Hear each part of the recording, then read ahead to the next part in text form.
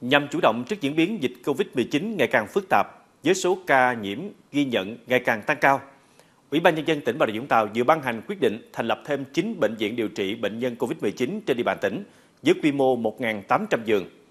Các bệnh viện này chịu sự chỉ đạo quản lý điều hành trực tiếp của Ban chỉ đạo phòng chống dịch bệnh COVID-19 tỉnh, sự chỉ đạo về chuyên môn nghiệp vụ của Sở Y tế và Bộ Chỉ huy quân sự tỉnh.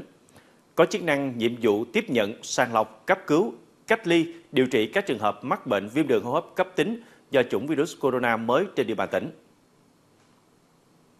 Tại quyết định 2028, 9 bệnh viện điều trị bệnh nhân COVID-19 trên địa bàn tỉnh Bà Rịa Vũng Tàu mới gồm một Ký túc xá trường trung cấp y tế quy mô 140 giường bệnh 2. Sân vận động thị xã Phú Mỹ quy mô 80 giường bệnh 3.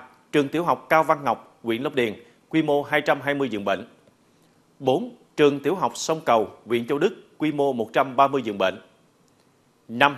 Trường tiểu học Thắng Tam, thành phố Vũng Tàu quy mô 350 giường bệnh 6. Trường Trung học cơ sở Chu Văn An, thị xã Phú Mỹ, quy mô 250 giường bệnh. 7. Trung tâm phòng chống HIVS cũ, quy mô 120 giường bệnh. 8. Ký túc xá trường cao đẳng sư phạm, quy mô 300 giường bệnh. 9. Nhà thi đấu đa năng tỉnh tại thành phố Vũng Tàu, quy mô 200 giường bệnh.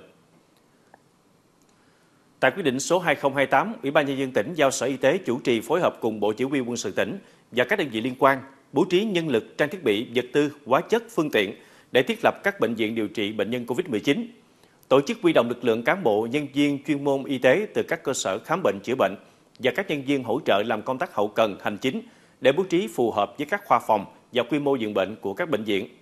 Sở Tài chính cân đối nguồn ngân sách của tỉnh đảm bảo cho tất cả các hoạt động trước, trong và sau khi triển khai các bệnh viện điều trị bệnh nhân COVID-19.